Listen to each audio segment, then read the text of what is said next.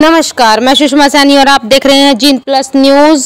Gene से एक बहुत बड़ी खबर, दिल्ली के उप मुख्यमंत्री मनीष सिसोदिया पर सीबीआई रेड मामले में पूर्व मंत्री और बीजेपी नेता करण देव कम्बोज का बहुत बड़ा बयान आया है। उन्होंने कहा कि आप आप आदमी पार्टी का असली चेहरा अब सामने आया है। उन्होंने कहा कि पहले इनके हेल्थ मिनिस्टर फिर पंजाब में एक मंत्री और मुख्यमंत्री का नाम भ्रष्टाचार में आने से साफ़ हो गया कि आप सिर्फ़ नीतियों का ढिंडोरा पीटती है।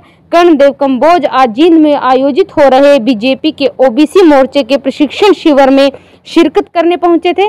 बीजेपी प्रदेश स्तर का तीन दिवसीय कार्यकर्ता प्रशिक्षण का जींद में आयोजन कर रही है।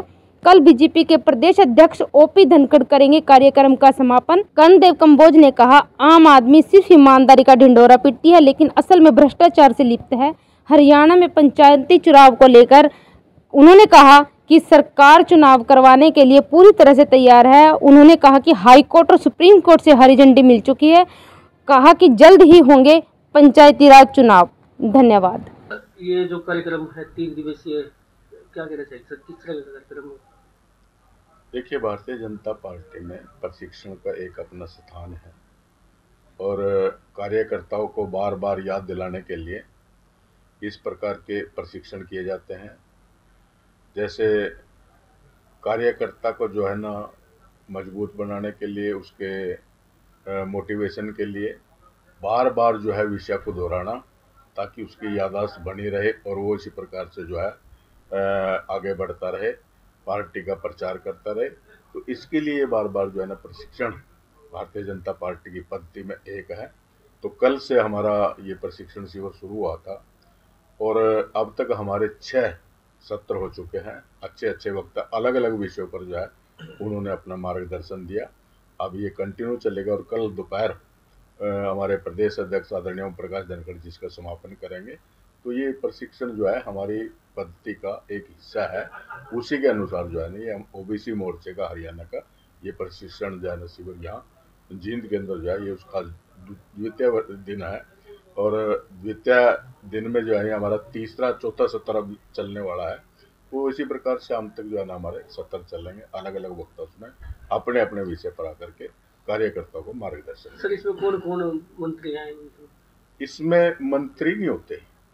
इसमें तो विषय की जानकारी वाला व्यक्ति होता है जो विषय अच्छी प्रकार से क्योंकि एक विचार दिया जाता है कार्यकर्ताओं को एक विचार दिया जाता है और ये विचारधारा वाली पार्टी है। इसमें बार बार इस प्रकार का कार्यकर्ताओं का मार्गदर्शन जो है ना वो विचार से किया जाता है। आ, कोई भी मंत्री आता है वो अपनी सिर्फ़ अपनी सरकार की उपलब्धियों तक सीमित रह जाता है।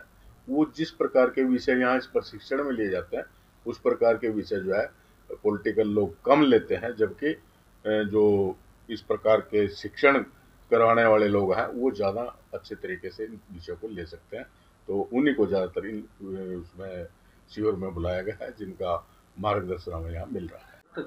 तो देखिए पंचायती चुनाव सरकार की पूरी तैयारी है। पिछले काफ़ी दिनों से ये मामला कोर्ट में फंसा हुआ था और कोर्ट ने अब निर्णय दे दिया कि सरकार जो है अपने तरीके से जो है चुनाव करा सकती है। जो आरक्षण लागू किया गया था और आरक्षण कोर्ट ने नहीं माना कुछ लोग इसको लेकर के सुप्रीम कोर्ट में भी गए थे लेकिन वहाँ स्टे नहीं हुआ। अब सरकार की पूरी तैयारी है और जो ये काम जो है चुनाव आयोग का है।